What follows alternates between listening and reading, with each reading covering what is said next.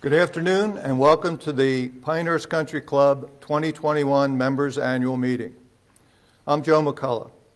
It's been my honor and privilege to serve as the president of the 2021 Pinehurst Country Club Board of Governors. During my time as a member of Pinehurst Country Club, and especially since I've been on the board, I've discovered that the club is constantly changing. While hard to believe in today's real estate market, my wife Janice and I purchased a home here in 2012 that had been on the market for 600 days. It had a transferable membership to Pinehurst Country Club, and we felt like we had hit the jackpot. We didn't know that the Pinehurst Country Club memberships were down and the golf business was considered to be overbuilt and shrinking at that time. We were just glad to be here. Fast forward to 2019, my first year serving on the board. I remember Ben telling the board that 2019 was the best year that Pinehurst Resort and Country Club had ever had. Then the pandemic hit. The Carolina was forced to close and resort and corporate outing business all but dried up. While we members of Pinehurst Country Club were able to play golf and participate in other outdoor activities, during the first half of 2020, Pinehurst Resort was experienced one of the worst years ever. As we all know, for various reasons, this year has brought an upsurge in golf and domestic travel. Pinehurst Country Club memberships are up, and the signature category has a significant wait list. I relay this short history of my experience to point out the evolving nature of the club that we've all joined. Will Pinehurst and Pinehurst Country Club be the same next year or in five years' time? If past this prologue, then the, then the answer is uh, no but I'm optimistic. I believe the best is yet to come.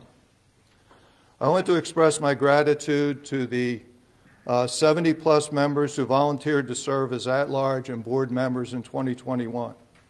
As each committee chair describes their activities this year, you will note that willingness to serve on the board and or a committee represents a significant commitment of time and energy. Later in the meeting, I will introduce you to the 2022 Board of Governors, including its new members and officers. But first, I want to introduce you to members of the 21, 2021 Board who will tell you about their activities this year. First up is our 2021 Vice President, Jen Tomlin. Jen.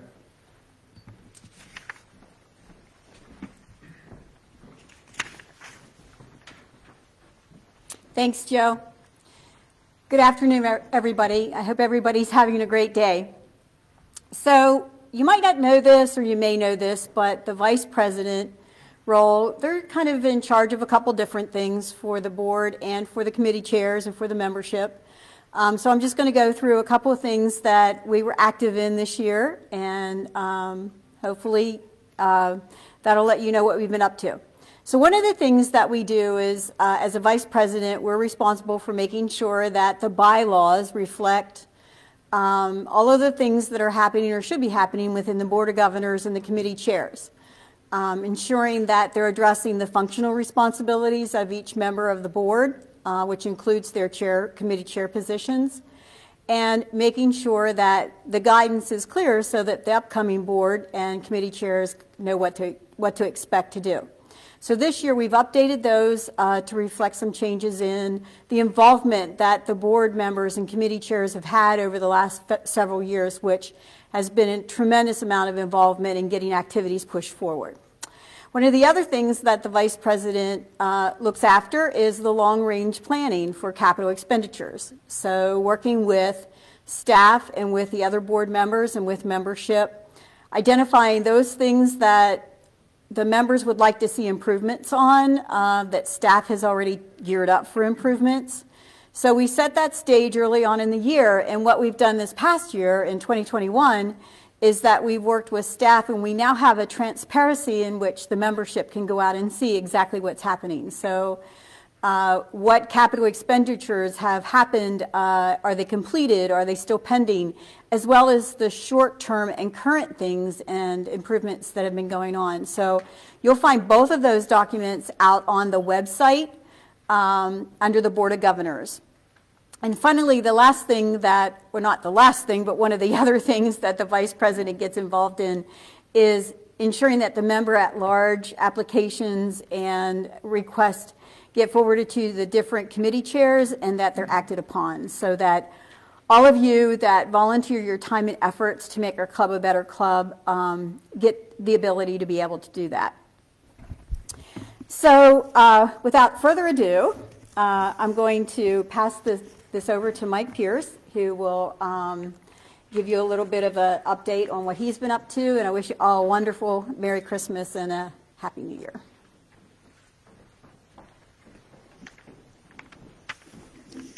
Thank you, Jen. Jen. Uh, good afternoon. My name is Mike Pierce. It's been my pleasure to serve the club as the Secretary Treasurer. Um, I'd like to point out a couple things in this about this position. This this position has two main functions. Obviously, the first one is to get, make sure that minutes are done, are done accurately, and get out as soon as we can to the members to be able to see on our member website. You know, in the last couple of years, what we've tried to do is try to make our minutes more of a narrative form so that the minutes not only contain when the meeting started, who made what motions, and uh, that type of information, but a, a, lot more content as far as what was done and a lot of times what, why decisions were made, questions that we make to club management, to Ben Bridgers, discussion that was had among board members. And I know on the standing committee, uh, um, com committees that the members, uh, the chairs try to do the same type of minutes. My point in telling you all this is that a lot of times we have questions about what's going on in the club, and you can see a lot of that information on the, on the member minutes, uh, on the minutes from our different meetings. All you have to do is go to, on the website, is go to My Club, scroll down to Board of Governors. You can scroll down and you can see all the minutes from the different meetings, and there's a lot of information that'll, that'll tell you about what's going on with our club. The second thing that uh, my position is responsible for is in regards to finances of our, of our uh, Board of Governors, the different associations, and the Holiday Fund. And when I'm talking about associations, I'm talking about all the different golf committees, associations, the fishing club, croquet club, uh, lawn bowls, uh, and, the, and the Holiday Fund. All of these exist under one nonprofit social corporation. And, uh, and I'm, uh, I'm telling you all this because I don't do any of that work. That, that work is done by Kevin Shimikas. He serves as treasurer for our board. But Kevin does all the reporting, uh, you know, gives general oversight for all these different associations, and does one tax return for all those associations. So, Kevin, I'm very thankful for the work that you do, and please keep doing it. Thank you very much. Merry Christmas to everybody. Oh, and uh, let's see who's up. Um, Dave Gibbons is up next.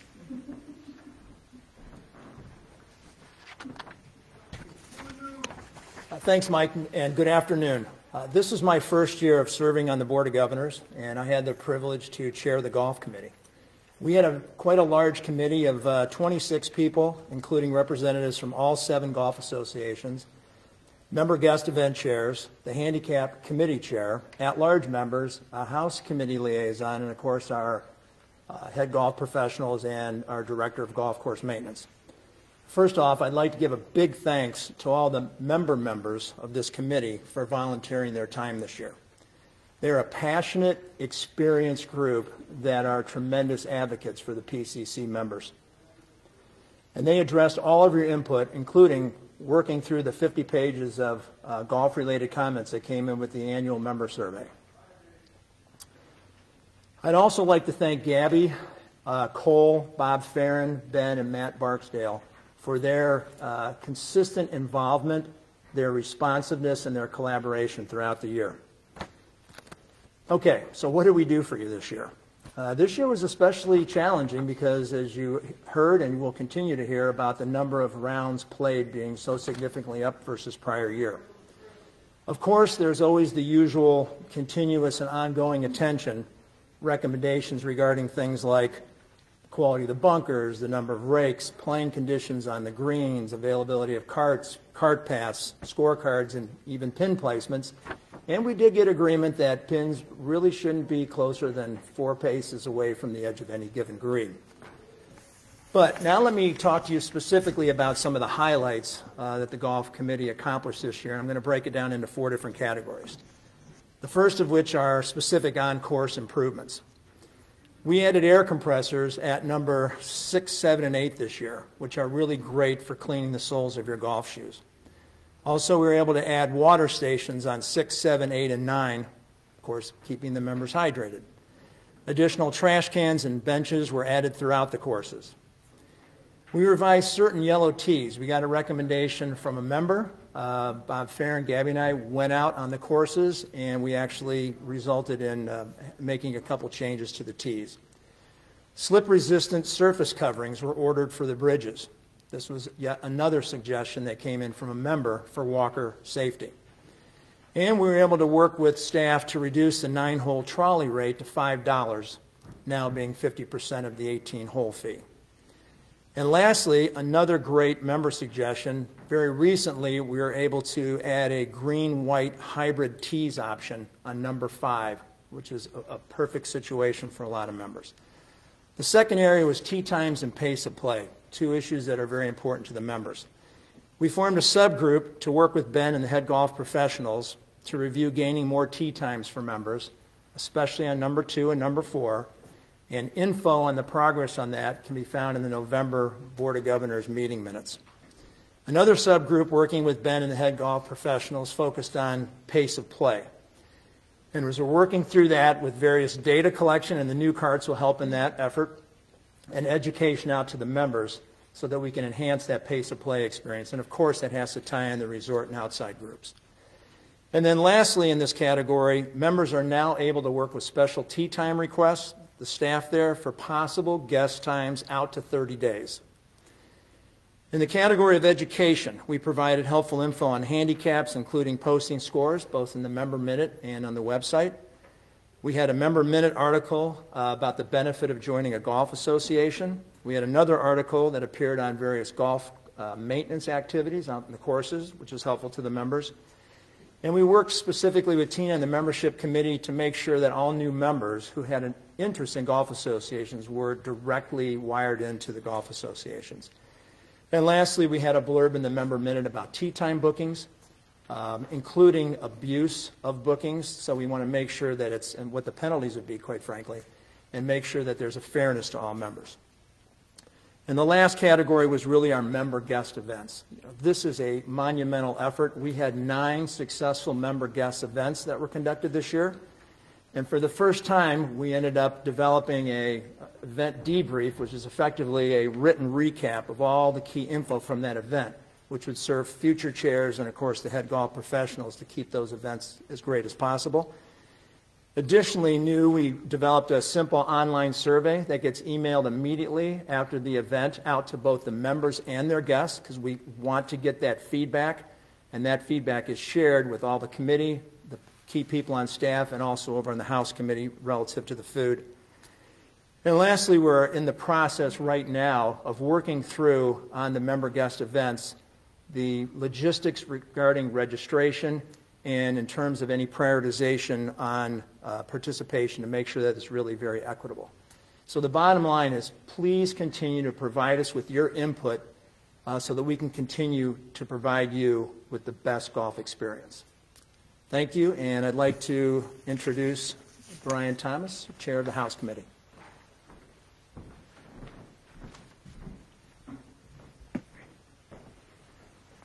Good afternoon, and thank you, Dave. The House Committee is involved in most member activities that aren't sports. It is made up of 13 fellow members at large, plus member relations managers, food and beverage managers, and chefs at Pinehurst Country Club.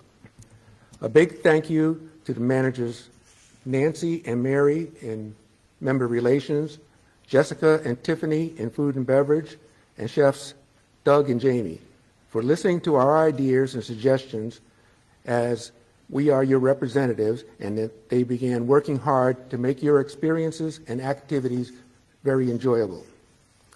Some of our activities that we were involved in this year was trivia, one of them. Uh, and this is an activity of our games subcommittee. And trivia night has been held monthly except during the summer and December and is enjoyed by a capacity crowd of 150 people. you basically have to be pretty quick when reservations go up, or else you're put on a waiting list. And a big thank you goes out to Jay and Lisa Crothers for bringing trivia from an activity at number seven to what it is today at the main club, enabling more members to enjoy a fun evening. Our Ladies Special Events Committee has reached out to the local businesses in the area to bring in speakers that appeal to both to the to women and their guests. These local businesses have enjoyed coming here and the increased foot traffic in their stores as a result of more people knowing about their businesses. The Holiday Fund. Thank you, members, for sending in your gift of appreciation for our club employees. This is a big part of my committee's job is to gather everything in together and give your gifts out to our employees. Your big thank you to them for taking the time and effort to create a welcoming experience for us and our guests has been outstanding. And I have a poster here that was created by Betsy and Bella that I feel is really important because they decided to make it in the shape of a heart to show how much we care. And lastly, food and beverage is led by Jessica at the main club and Tiffany at 7 and 9, along with their staffs. They have listened to and asked for member opinions on offerings and dining and events. They've made great strides and gotten positive reviews from the members.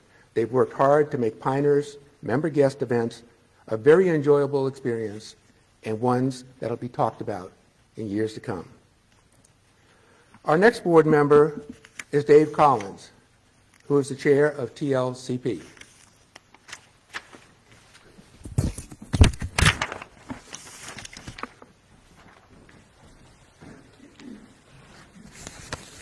Thank you, Brian. As Brian said, I'm, I'm the chair of the TLCP committee. That's tennis, lawn bowls, croquet, and pickleball. In other words, everything but golf. So um, I'd like to start by thanking uh, Ben Bridgers, Nancy Sadler, Bella, Chef Doug, and Jessica as they helped support all of the TLCP events that we had this year. Um, also would like to thank Matt Downing and his staff. Um, without their help, we wouldn't have been able to put on the events that we were able to have this year. I also would like to recognize the committee. Um, Joe said earlier, you know, these people are all volunteers, members of the club. Um, representing tennis this year on the committee, we had Carol Jemson and Jane Harnham. Lawn Bowls, the president of that association was Terry Wetzel, and she was assisted by Vicki Hayday. Um, croquet, the president of the association, Elaine Moody, and Terry Lauer. And pickleball, Cheryl Lancaster. And then we had a member at large, Jim Hart. And what these people were responsible for as members of the TLCP committee was basically three things. Report on the conditions of the facility and the equipment, communicate the concerns of the membership to the Board of Governors and management, and help plan and organize the member TLCP events. So to this end, I'd like to talk a little bit about what they were able to accomplish this year. With facility improvements, the four groups helped train the Pinehurst Country Club staff to take the, the lead on resort events with assistance from the TLCP members. Um, many of the corporate groups that come here, in addition to playing golf and uh, taking advantage of the cradle for some of their social events, they also enjoy lawn bowling and croquet. And our members assisted with those events this year, um, and then they helped to train a member of Matt's staff to lead these events going forward. For lawn bowls, we added two sets of smaller bowls, recognizing that more more ladies and children were starting to participate in the event. Having the smaller bowls made it easier for those folks to join us. We refinished the backboards on the lawn bowls rink. And then we certified three of the, um, three of the lawn bowls members were certified as Bowls USA coaches this year. For croquet, we purchased quadway hoops for the croquet courts. This makes it easier to set the courts up in between events. Um, and when we have shared events on the lawn bowl court, it also makes it a lot easier to set up the, uh, the croquet wickets. We also had people there on the croquet group that were certified as golf, golf croquet referees. For pickleball, we have begun the construction of 12 brand new courts. This is still ongoing with completion planned in uh, early of 2022. We connected electricity and water at the courts, which doesn't sound like a whole lot, but there had not been electricity or water there since the pool had been removed several years ago. Um, we also put in place an AED uh, located located specifically at the pickleball courts, and all of Matt Downing's staff has been certified as USPA coaches. So they'll be able to help plan with the events there next year. Communication is a big part of what this group does. Um, so we tried with all the activity that was going on, that so much of it specifically impacting TLCP uh, the USGA construction, the hotel, and all the rumor mill that goes on along with that. We tried to keep our committee members apprised of what was going on as Ben shared those activities with us to try and keep people informed. One of the things that we did to help with uh, the planning of the events this year was um, we introduced a shared Google Doc calendar, and this gave all the sports leaders um, access to the committee planning and the coordination of the events. In the middle of the month, that stuff was shared with Bella so she could publish it, whether it was in a member minute or the, one of the special calendars. Um, I'd like to say that this past year, the committee organized 183 events for, for the club. Of course, we mentioned earlier about the meeting minutes and where you can find those. I think um, Mike mentioned that. And we did publish the meeting minutes and tried to put them in a format that everyone could follow. Um, and the other thing that we did this year to try and get input from everyone, uh, this is the second year now that Matt for tennis held a town hall format to receive input from the members. Um, he approached that meeting with an agenda of some proposed events that he had, and then once he got the input from everyone at that meeting, they were able to finalize a good schedule for, for this year. Going forward, we hope to do that same, use that same process next year with uh, pickleball. So that's pretty much what the committee has done this year. I would like to thank that committee again and say that um, the three years that I've served on the board, uh, it's, it's been a very good experience for me. And what's made it really worthwhile are the members in the membership, meeting all these folks, um, and the volunteers that are so ably committed to helping make your membership experience so much better. And special thanks, special thanks to uh, BH. Um, ben has been a very strong advocate for this group and it's been a tough year, um, and he's done a really great job of sharing what's going on with all the construction and everything with the committee, so we could help get that news out to the membership. Um, and like I said, he's been one of the strongest advocates. He's the reason we've got the 12 pickleball courts under construction right now. And um, just want to thank you for all that. And I would like to now introduce Derek Pizzeni, Chair of Pool and Fitness.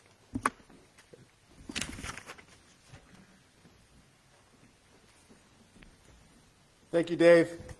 Appreciate everybody tuning in tonight. I'm Derek, Derek Pizzini.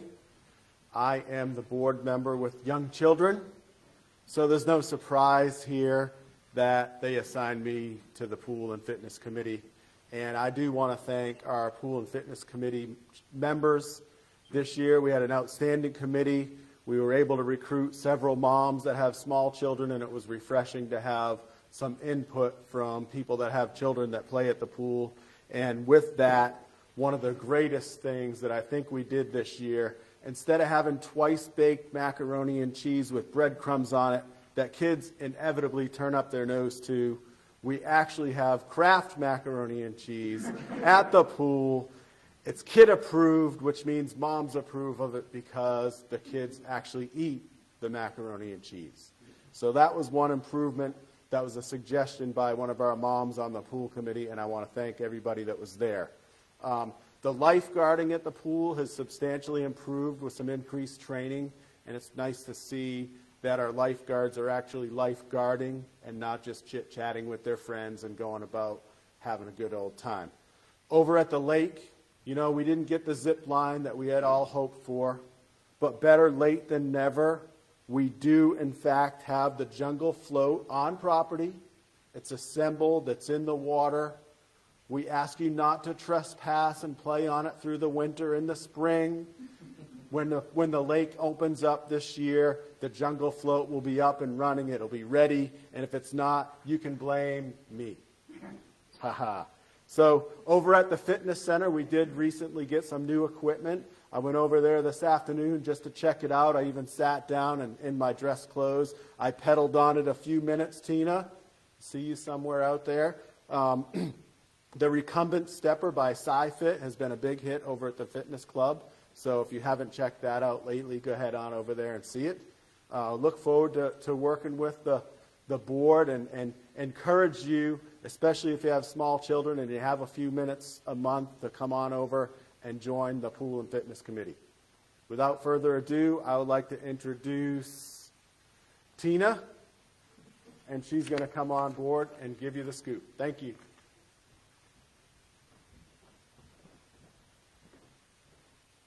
Thanks, Derek. I'm Tina Arno, and this year it was my pleasure to chair the membership committee. In 2021, I was pleased to work with 11 member volunteers, including my co-chair, David Collins. These people represented a variety of memberships, interests, and family structures.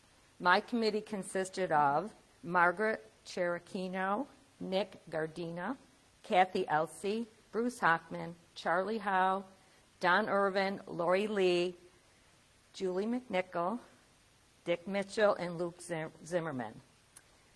I'd like to thank our membership department representatives. We had Brian Metter and Mariah Ledger. I thank all of the committee members for their dedication to this committee and willingness to welcome new members to PCC. Our initiatives for this year were monthly we reviewed membership numbers by categories. We provided management with member questions and concerns related to current membership programs and possible new membership levels in the future. Brian reports a positive net membership growth in 2021 continues to be driven by the demand for golf memberships. This year, transferable membership conversion was 80%. Transferable memberships are memberships that are attached to properties within the village of Pinehurst that offered reduced enrollment fees, relocation privileges, and transfer, transferability to future owners. Membership forecast for 2022 is a continuation of positive member growth based on demand. Each member of our committee participated in directly contacting new members, either by phone, email, and some even issued invitations to meet for various activities. This year, over 300 new members were contacted by the committee to welcome them to our club. Due to the COVID, this year the committee members were unable to participate in monthly new member orientations and new member socials. However, plans are being made for these to return in 2022. Now I'd like to turn it over to Betsy Mitchell, Chair of the Communications Committee.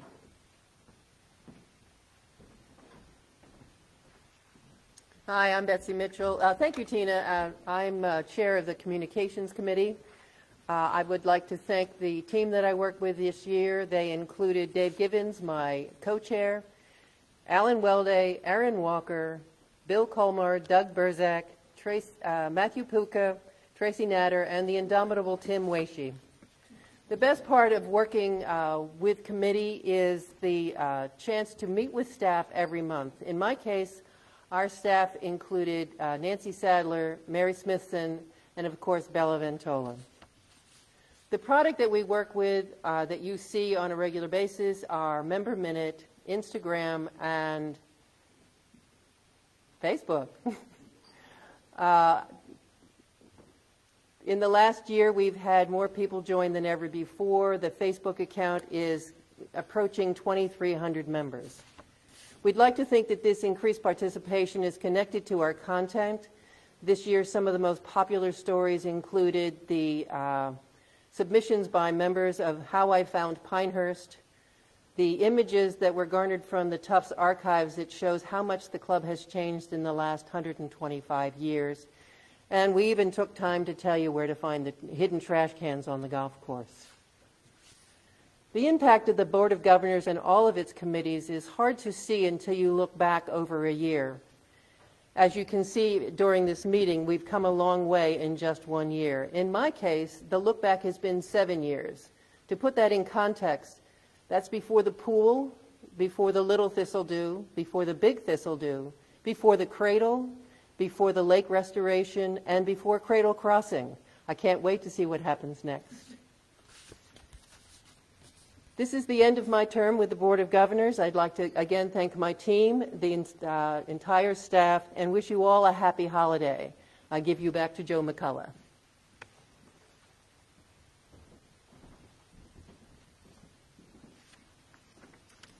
Thank you, Betsy, and thank you to all the, uh, the governors that reported out. As you can see, the real, the real work of the board is done by the committees. And uh, we have over 60 uh, members, at-large members that, that serve on these committees, and I would encourage membership to pick a committee, fill out the application, which you can find online on the members' website, and uh, become a, uh, an at-large member of uh, one of these committees that you just heard. So at this time, I'm going to turn the mic over to, to uh, Mike Pierce, who is going to do a special rec recognition award presentation.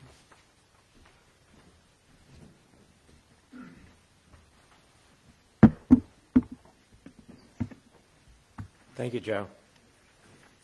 You know, it's hard for us to imagine our club operating without volunteers. You know, the staff and management of our club do an amazing job every day. I think we all know that it's the volunteers that put the spark in this engine. And, uh, you know, it's, it, you, you, look around at all the different activities that happen. It's, you know, the volunteers are involved in every event, all the social occasions, the golf tournaments. It goes on and on. And so since 2009, the Board of Governors has recognized a member, and sometimes two, that exemplify volunteer service here at Pinehurst Country Club. You know, I've, this year we had four nominations from our board, and they were all very worthy and contributed a lot to our club. And I reviewed the nominations with a committee that consisted of myself and two other members, Cheryl Lancaster and Charlie Roberts. Um, and, but one of the nominations just stood out so quickly to us, um, not only in terms of the length of her service, but the impact that her service has had on our club. Now, I'd just like to go over uh, some of the highlights of her, her, her, career here. You know, I've been a member, you know, I've been uh, pretty active with the club since I retired in 2015, but when about the time I think I've done something, I look at our recipient's uh, resume and I think I got a long way to go. Uh, our, our, our, our, recipient has been active in the WGA since 2001 as a membership chair, as a vice president, a president, uh, in game scheduling, the scoring, the handicap committee there. She's been the, the WGA championship chair twice. Three times she chaired the Pinehurst Country Club Women's Club Championship. Uh, and since 2003, she's been on the handicap committee. And further, since 2009, for 12 years, she's been the chair of that, ha- of the handicap committee. And that's got to be an incredibly tough job, es- es- particularly with the rules changes that happened in the last several years. And I know that her leadership played a, a really important part of, of making that successful transition here at uh, Pinehurst Country Club. So it is my pleasure and honor to introduce the recipient of the 2021 Board of Governors Special Recognition Award, Jackie Meyer.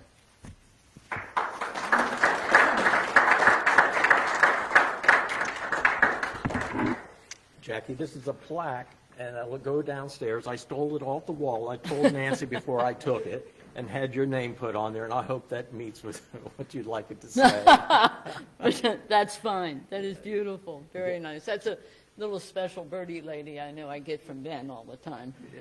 But So anyway, congratulations. So you don't get to take this home, but it's a, a small token of our appreciation. You get- do get to take that home. So thank Oh, you wow. very much. thank you very much. I'd like to, um, I'd like to thank the board for my consideration, uh, to Mike's committee, and I'd also like to thank all the people that I worked with on WGA over the years. We were a really good team. And as far as the handicap committee, I had some wonderful people to work with, and we were a team. And it was a privilege to also work very closely with Ben and all the other pros. We worked very closely together, which we should have. You know, my dad used to volunteer a lot when I was a kid. And he taught me a lesson, or he taught us all a lesson. He said, just remember one thing in your life it's better to give than to take. So, thank you very much again. You're welcome. Thank you, Jackie. And I'll turn it back over to Joe. Thanks, Mike, and congratulations, Jackie. So it's, um, it's my job now to introduce the new Board of Governors, and in no particular order, Jeff Krug,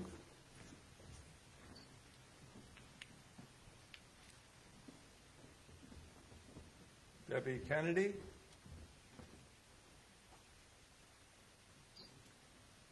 and Bill Comer. And they'll all be finding out what their committee- assignments are at some point in the future. And uh, I want to also uh, honor the departing governors, uh, Betsy Mitchell, David Collins, and, and, and myself. Do you want to come up? Come on up. Yeah.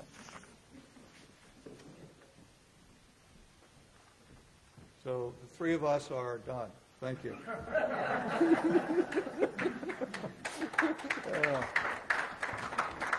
And so the, the uh, 2022 Board of Governors, the president of the 2022 Board of Governors was just elected about an hour ago, will be Jen Tomlin. The vice president of the 2022 board will be Michael Pierce.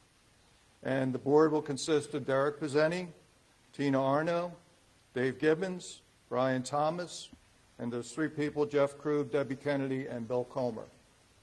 And that's, uh, that's it. So my last duty as the 2021 board uh, president is to introduce our club manager, Mr. Ben Bridgers.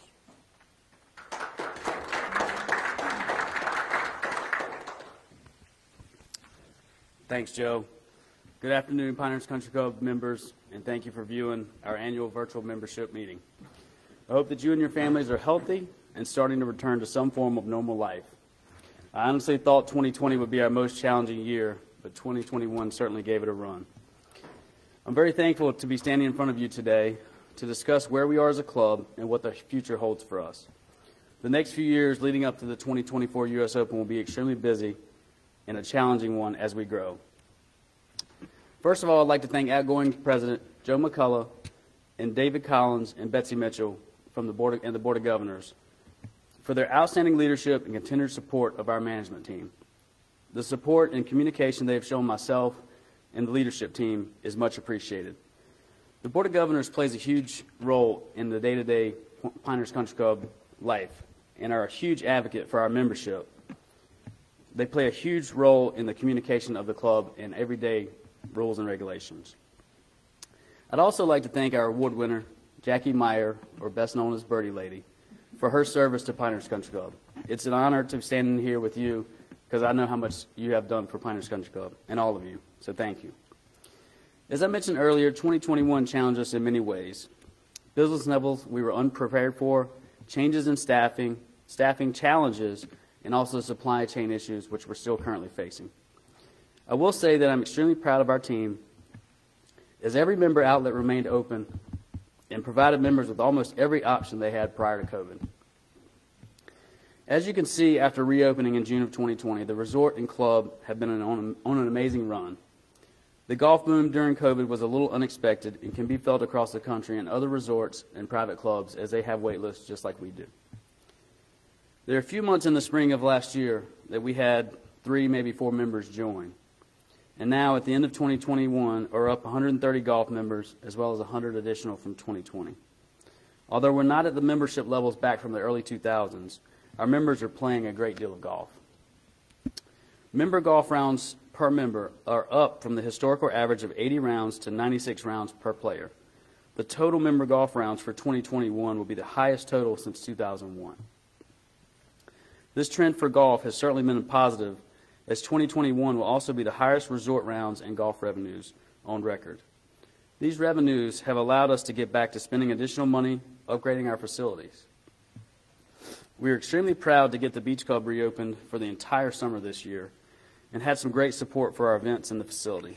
Unfortunately, as Derek mentioned, the, Derek, the, the jungle float did not arrive in time for 2021, but it is on property now and will be ready for all of our families next season. If, if it's not ready, we'll blame Derek and not myself. Uh, we added two additional uh, uh, pieces of equipment in the Olmsted Village Fitness in the recumbent bike and the recumbent stepper.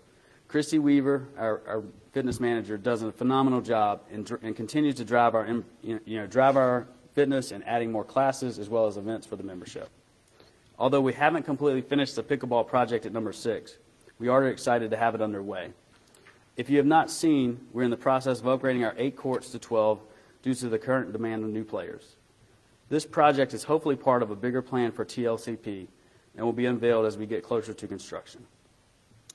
In golf, we added additional ice and water machines on the front nine of all the courses at the main club and have provided purchased additional for six, 4, 6, 7, 8, 9 for 2022. Having enough ice and water stations is always an opportunity for us, and we're excited to be addressing this issue. Most of our golfing members have seen or used one of our new golf, fleet, golf cart fleets at the courses. These courses have a USB option, upgraded seats, and the main club has GPS for courses 1 through 5. This will allow us to use geofencing to keep the carts on our property as well as address pace of play issues. This technology allows us to see all the carts across property, utilize for food and beverage options, send alerts for weather, and monitor place of play. We also have ordered additional Turfhound mats for the matting system for the Pinehurst number seven range that should be installed by the end of the year in the Golf Academy as well. Uh, we also received our, our new mats from Maniac Hill, and we'll install those probably in the January February timeframe. If you play out at golf course number six, we updated the halfway house and installed a brand new awning at the clubhouse. We realized the membership wants more, and I promise that we are advocating for just that. I continue to ask for patience from those that live out at number six, but I do think we're closer than we have been in a long time. There's much op- opportunity to create something that we could be very proud of out there at number six in the community. At Pinehurst number seven, we were able to stripe and seal the parking lot, paint the clubhouse, and upgrade the rails and gutters. It may not be much, but it does look it looks fantastic, and it was well it was definitely necessary. We're looking to add a more freezer space and also lighting to outside at the number seven clubhouse in the near future. And the bar also needs to be refurbished. But at this time, with the number, number nine project, we're just not ready to take it down. The renovation at number nine clubhouse is nearing completion as the entire main floor, uh, including the restrooms, boardroom, lobby, Nicklaus room, and Smith room, are all being enhanced. The front of the clubhouse will be completed by the end of March or, or mid April and that should complete the project. We appreciate the signature members' patience and are very proud of this project. At the main club, we finished the walking path by the putting green and lighted the entire clubhouse for our members' safety. The Cradle Crossing Bar, complete with fire pits and restrooms, has been a great addition, and the 91st hole renovation is almost complete. We added additional outdoor furniture and cushions around the, almost the entire building and try to enhance our outdoor gathering areas for our members and our guests.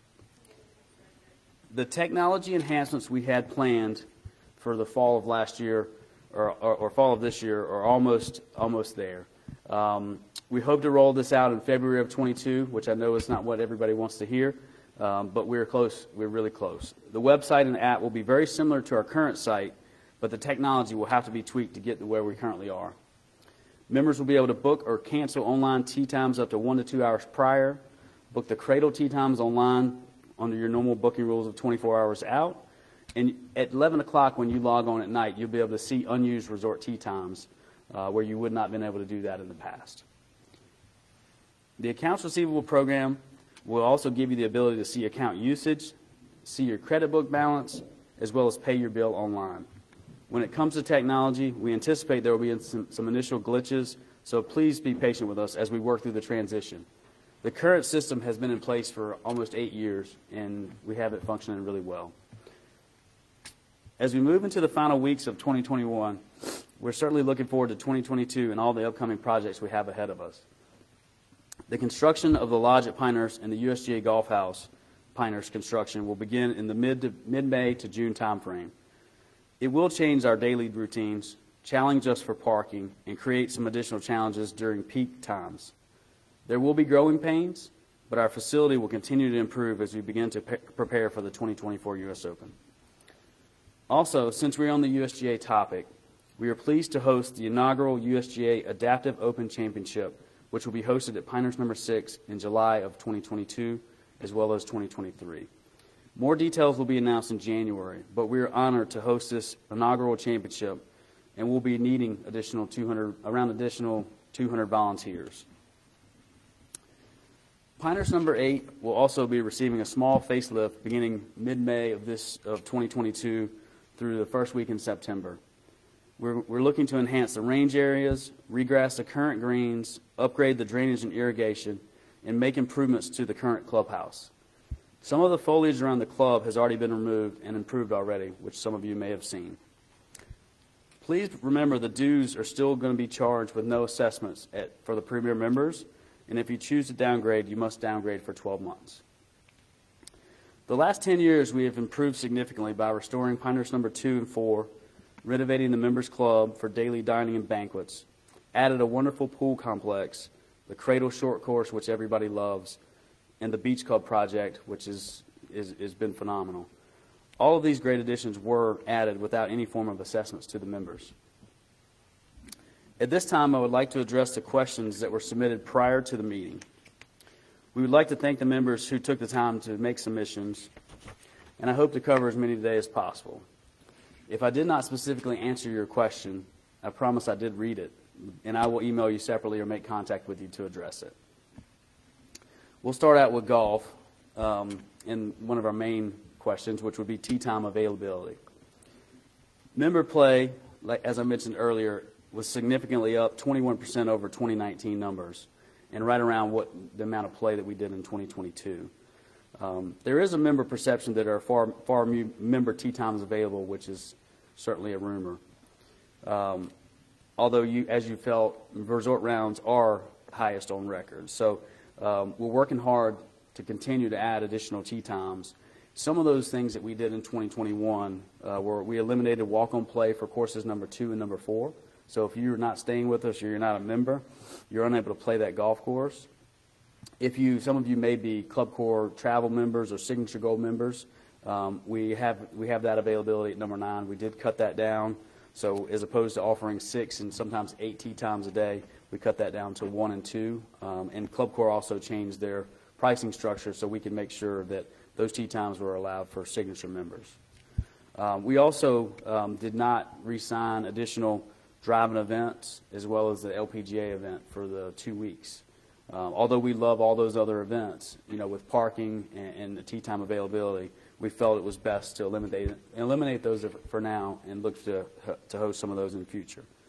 And we also are in discussions as we continue to to work to find additional tee times, um, we will, we're in the process of talking about eliminating walk-on play on some of our other golf courses, six, seven, eight, and nine, which would allow our signature members uh, to play those golf, golf courses more often or get all the tee times they're interested in.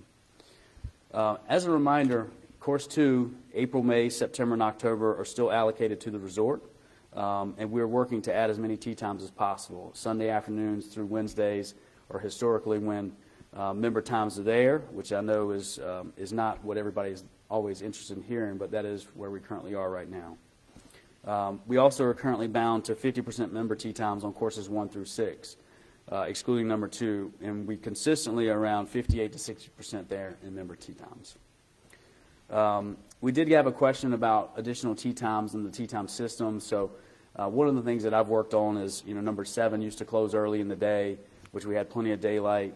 Uh, so we added those tee times after two o'clock so people could play, members could play nine holes or 18 holes, uh, as well as some of our other golf courses. But those those tee times do not count in the split. Um, so we, we only use 18 hole playable tee times there. There was a question regarding 30-day advanced tee time of use. Um, you know, obviously Gabby Steiner and Steven and the team in the tournament office, we, they do a fantastic job, as well as Cole and his team over at number seven and nine. Um, we monitor guest, advanced guest tee time, you know, the 30-day tee times. We monitor really all tee times. We have member volunteers that send us, um, you know, some, some tee times, and we, we, we really do work, work, um, work hard to see that. If, if folks are breaking the rules, that we cancel the tee times. We probably have not done as good a job as we could, um, but as we as we move forward, we're looking to cancel any tee time that was made uh, inappropriately or before the booking guidelines. So um, that's coming down the pipeline. Um, can we get cradle tee times on the on the online in the future? You know, as we roll out the new tee time system in February, um, you will be able to see all the tee times uh, for all the golf courses and book your tee times on the cradle um, online. So, you know, as you can imagine, we're extremely excited about that and the fact that you'll be able to see the unused resort tee times at 11 o'clock. So, um, the winter course closings, there were some questions regarding why we close on Mondays and Tuesdays. Obviously, um, golf course maintenance does a, phenomenal job for us, uh, but we do need to have some closings to work on some additional things. I know there's some some comments about bunker in the you know in the sand the sand traps and things of that nature. Um, so we're, we're, we're going to continue, obviously, this year because it's set and ready. Um, the, but currently, 7 and 8 close on Mondays and 6 and 9 on, on Tuesdays. Uh, we have some communication out to the golf staff about changing that in the future, um, so we will look to do that. And then, obviously, uh, from a golf perspective, um, additional golf courses added to our portfolio um, or the pit property. You know, we're certainly reviewing other options as, as we speak um, but nothing other than co- conversations at this time. So, um, you know, we'll, we'll certainly keep the membership posted if, if there's anything there. Um, pace of play, obviously, pace of play was our number two um, and always has been. But we recently had a three-day pace of play symposium um, where myself, Matt Massey, Tom Paxley, uh, Matt Barksdale, Rich Wainwright, so basically our leadership in golf met with uh, Hunki Yoon uh, from the USGA and then also a professor from the Fuqua business school over at Duke. And um, so uh, I guess what I'm trying to say is we're taking it very seriously. You know, but you know, it's like anything else. You put more cars on the freeway, it slows down the time. Uh, so we're, we're, we're reviewing the data that we have. Um, I'm very proud of the fact that we we um, we went out of our way and hired Tagmarshal uh, three years ago. So we've got three years of data for pace of play on Pinehurst number two and four, um, and we're going to utilize that you know, we, we had John Jeffries and Kevin Robinson, who uh, obviously were superintendent on number two and our golf course manager in that meeting with us to talk about setup and just kind of so we can have some, some feedback and some forum. So um, we hear that, that we, need, we need to enhance our pace of play, and we're looking to do that. Um, courses one through five, having the GPS units on the golf courses. Um, you know, we're going to be able to see what time folks are, what time our staff as team folks off, where they're going, um, and what they're doing. So um, being able to have that tool, I mean, we're, we're spending the time and the effort and the money on, um, you know, on these, these tools to help us be, become a better facility. Um, geofencing, obviously, you know, I get emails from members all the time, which I certainly appreciate about carts or pictures wherever the golf carts are, whether they're at the Carolina Hotel, the Pinecrest, condos. Um, having that geofencing option, I'm sure some of that's, uh, it's been a little bit of a challenge as we started out. Um, but there's, uh, it's going to keep our folks um, where they need to be, whether it's a member or a resort guest. So, um, and then there's also going to be, you know, the geofencing if there's some folks that need some assistance taking off. There's a temporary release button for geofencing uh, for those that are in need. So, um, you know, golf course, you know, Bob Farren and, and, you know, the rounds that we've done as a club this year, uh, Bob and Kevin and John, and Alan and um, Logan and all those, Jerry over at number six, they've done a phenomenal job with our golf courses. Um, they're probably in the best shape that collectively that we've all seen. Um, but there's always still things to do, right? So uh, we have, um, just, just so everybody's aware, we do allocate a specific amount in our budget every year regarding cart path repair. Um, and, you know, it's just hard when we, you know, we're asking for more tee times, we're asking for better pace of play. Um, but we want, you know, we've got to close those golf courses to do that work. And so we try to take, when, when the golf course is being aerified, we'll identify certain sections like number six this year, uh, I believe number five, and, and, um, and just, re, you know, redo some of those cart paths. We'll look at the bunkers and we'll review, we're going to review all the sand traps across property and see, because I know that's been, that was some questions in there about that. Um, and then blind spot cameras. Obviously, if you've seen it at number, if you played at number eight, the blind the blind cameras are not working. Um, so we've had Johnny Chisholm out there running power, so we can get those out and, and operational. Um, you know, tee times. Uh, I know there's still some questions about tee times at 11 o'clock. Um, in 2013, we started that, and, and the tee times you would book your tee times at midnight. We did move to 11 p.m. and, and look to continue that at that same time frame for now let's get the new uh, the new system rolled out and then make any changes after that. Um, there definitely could be an opportunity to do that. Uh, courses three five, you know, the starting holes is still over the last couple years. You know, what, where the starting holes are, where you cross Highway five is, is still still coming up and still a big question. Um, we're continuing where we are right now until construction starts on the lodge. Um, and then we will, we will, you know, as you move from the bag drop around to those golf courses, um, you know, as construction starts, there's going to be, if you have not heard, I know the board members have heard me say, um, but the, um, there will be a train track added behind the fourth hole of the cradle. Um, so um, there'll be some construction there in the spring. And so uh, as we learn more of alternate routes and, and, and, moving our members around the golf courses, I will certainly let you know. Um, I mentioned it earlier, but course number eight's renovation. Uh, we're very excited about course number eight. Uh, obviously, the, the challenge is, is is just getting it done in a condensed amount of time. Um, but we're really excited about it. Even though the greens are fantastic right now, um, people ask the question, why are you closing the you know closing the golf course to do the greens? We're really doing the greens because we have the time available. So when you close the golf course for 90 days, it's better to go ahead and, and regrass them. Um, you know, if we did this and we did not regrass the greens, uh, and something happened to them down the road, you know, we would we would not be excited about that. So. Um, the pull cart trolley program has gone well in 2021. Um, we purchased probably 140 additional trolleys across property this year, um, and we'll we'll probably have to continue to do that as we move forward, uh, just because the golf, you know, they're getting used. So. Um, thanks to that was a that was something, something that was brought to the attention to the from the golf committee to the board and to the management and, and we made it happen and it's gone really well um, and hopefully everybody's enjoying that so um, so we move into facilities. Um, obviously, our biggest question there was, was parking and what will be done with parking as we, uh, as we move forward. Um, you know, whenever you do a project uh, of, of any size, you're working with, with the village or any town. Um, but we're working with the village of Pinehurst regarding the parking for the USGA buildings and the lodge at Pinehurst. Um, the village is going to mandate the number of spots that's necessarily for us, um, just like they did for the beach club and, um, and, and our other projects. Um, there's uh, recently we completed the project at the Carolina Hotel, uh, which we had we added additional 85 spots around that perimeter of the front of the building, and then as well as the back of the building. Um, and then we're going to add 98 spots with the USGA building, uh, as well as additional parking at the greenhouse, which is by the fair barn for those members that, are not aware of where that is. Um, you know, our, our goal continues to be uh, when, we, when we're looking at our business, we've got to make sure the business makes sense. So um, today, for instance, we had a CGA event. We've got a lot of drive-in traffic. Um, this time of year, it's okay, but during our season time frame, it's not okay. So um, we, we are cognizant of, of parking and what's going to happen in the future, and we'll continue to, uh, to work with you and all the, all the folks to uh, make sure we have enough parking. Uh, clubhouse lighting, I know most of you probably have been around the club if you, if you haven't, but the, the project was, has gone great. It's really lit up the entire building. We'll continue to look to do that here and at our other facilities. Number nine, for instance, um, we ordered lights probably three months ago for the area as you walk by the bag drop, and that will be added either by the end of the year or the first week in, um, in January. Uh, I spoke earlier about the railroad track, so the, the railroad, which owns that property there, uh, is adding the track behind the fourth green, and it'll allow for probably the, you know, similar to what's out there right now. There's a railroad car that's out there.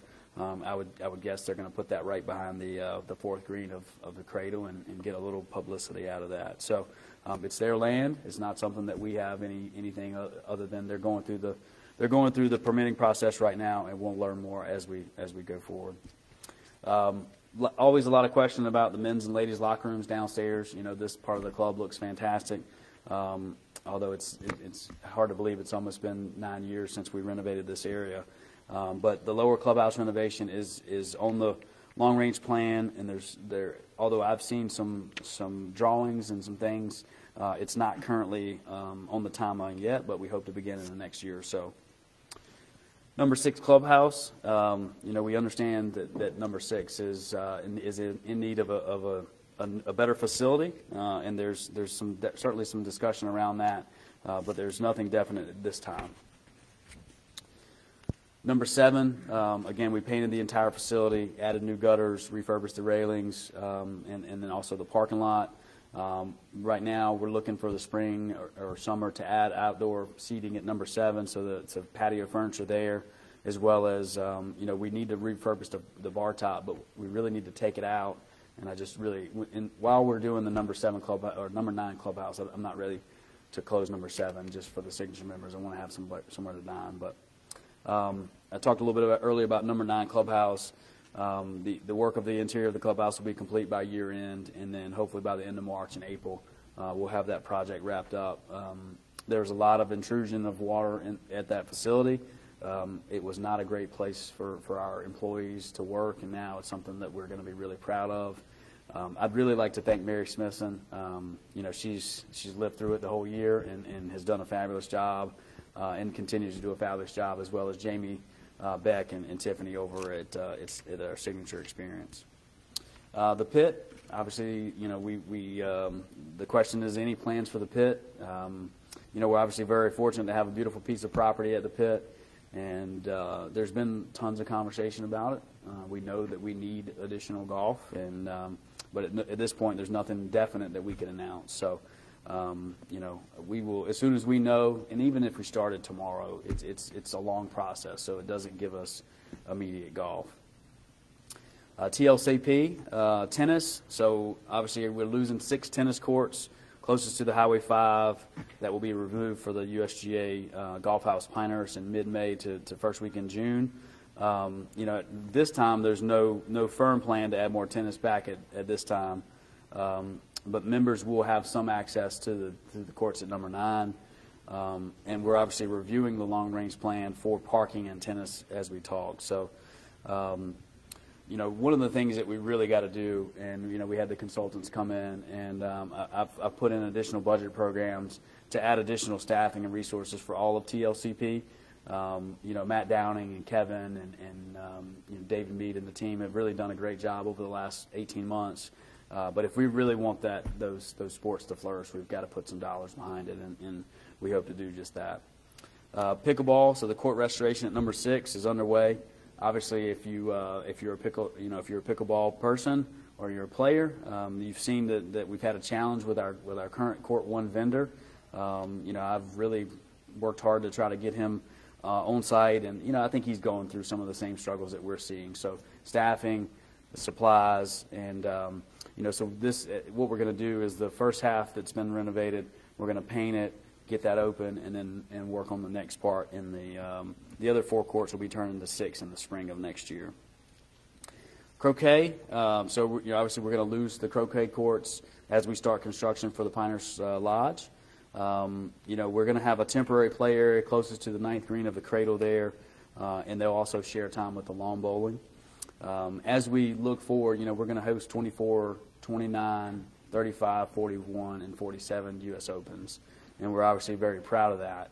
Um, those those two areas beside the you know the first hole of the cradle and the ninth hole there um, are going to be the U.S. Open driving range and will be so. Um, so as we look for um, a long-term plan for croquet, that whole area we'd like to take in and make that that entire area the same um, height, so to speak, and and that'll be great for the USGA.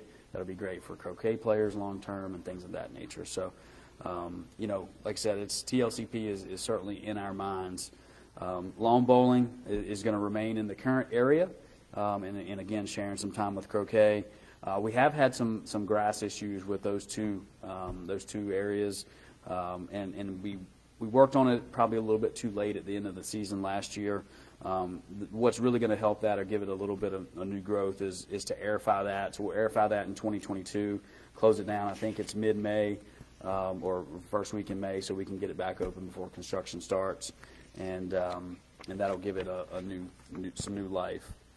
Uh, fitness, obviously, you know, is kind of a that long-term plan with TLCP, but right now we're currently committed at Olmsted Village until the end of 2022, and, and plan to extend the lease until until 2023.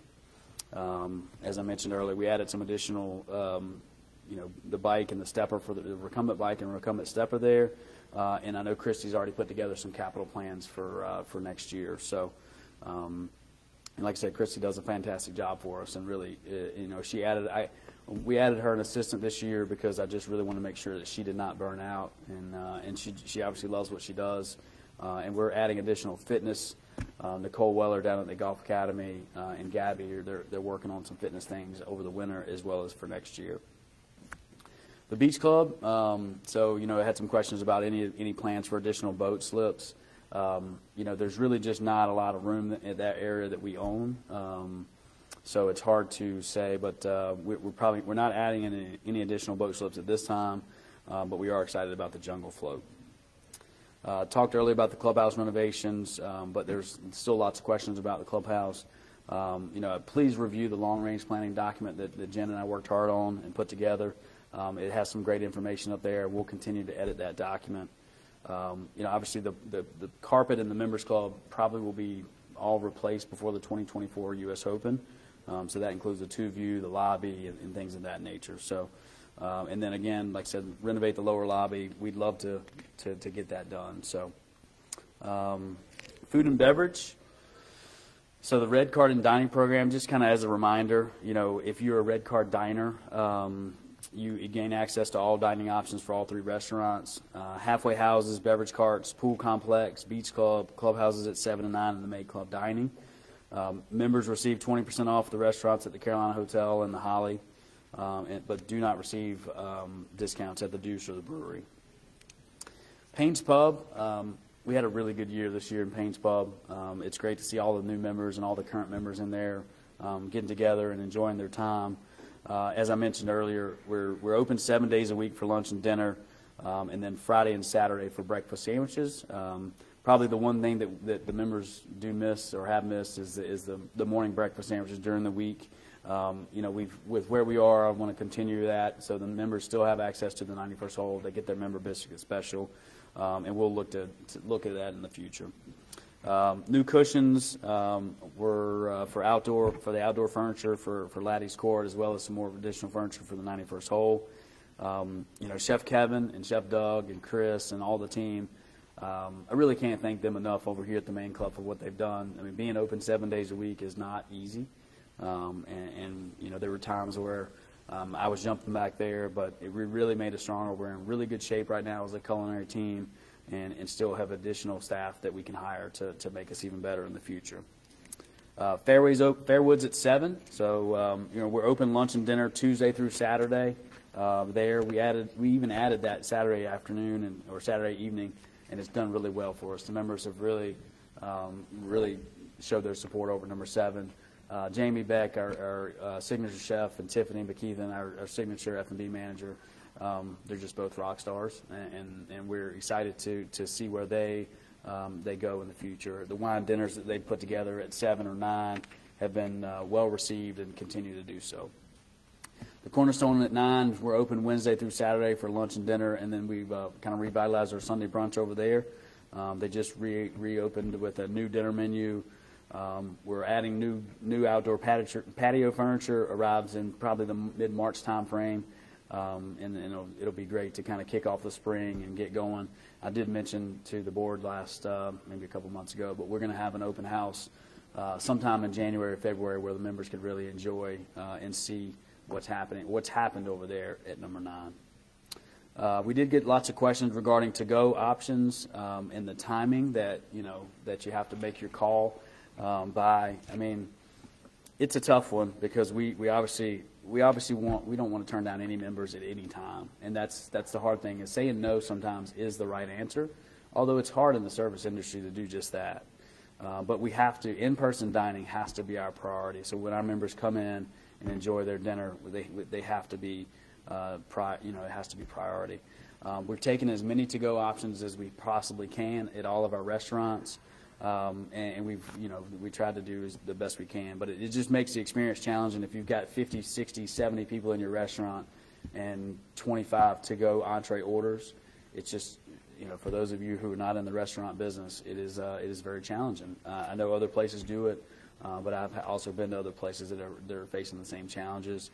Kurt's Kachina closed his restaurant to in-person dining, did only takeout, and then he's brought it back. So, you know, you have to get creative over the time. We did that during COVID and uh, we're doing our best to serve our members every day. Um, we're currently comfortable with the hours of operations for food and beverage, uh, but we're continuing to train our staff and enhance our food offerings. Uh, staffing challenges, we feel they've been subsided and the team is engaged in the member experience.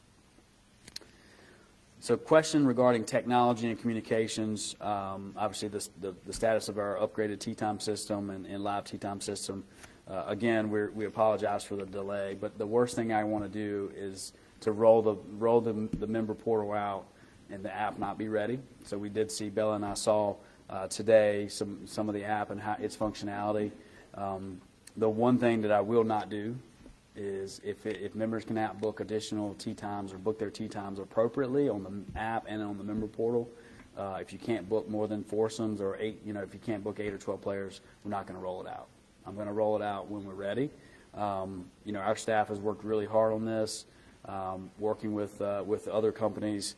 Um, but you know, you're not going to have to keep your yellow receipts anymore. Uh, you're going to be able to see that online. Um, you know, I had several questions regarding their credit book. You're going to be able to see that. You're going to be able to pay your bill online, which is uh, I'm I'm really excited about. And then um, you know the reporting structure for our for our current employees. You know, one of the things that for us is do do our do our employees have the tools they need to succeed, and that's something that will help us be more efficient, service members better, um, and uh, we're really looking forward to it. Uh, some miscellaneous questions. Um, you know, we had some questions regarding valet. We only currently do in valet for dinner service and special events. Uh, we will certainly take a look at that and see uh, whether we can add add the, the valet back. Uh, had some questions regarding the USGA. You know, the USGA is coming. What are, their, what are the benefits of the USGA and hotel additions to Pinehurst Country Club? Um, you know, a lot of those staff members for the USGA have, uh, have, already lived in Pinehurst and have so for quite a, quite a number of years.